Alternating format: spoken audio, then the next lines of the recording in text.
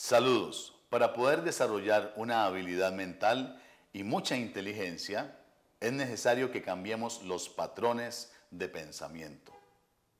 Para esto, les invito al siguiente desafío. Tenemos tres vasos de agua llenos y tres vasos de agua vacíos. ¿Cómo lograr, moviendo solamente un vaso, que queden un vaso lleno, uno vacío, uno lleno, uno vacío y que nunca queden dos vacíos juntos o dos llenos juntos. Esto moviendo solamente un vaso. Piénselo. ¿Cómo lo logramos? De la siguiente manera.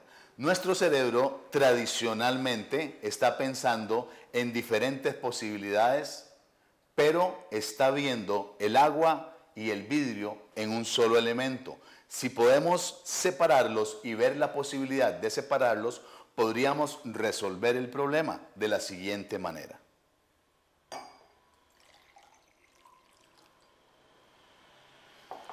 Ahora tenemos uno vacío, uno lleno, uno vacío, uno lleno, uno vacío y uno lleno. Si cambiamos nuestros patrones mentales y buscamos nuevas y diferentes formas y mejores formas de resolver, tendremos mucho más habilidad mental.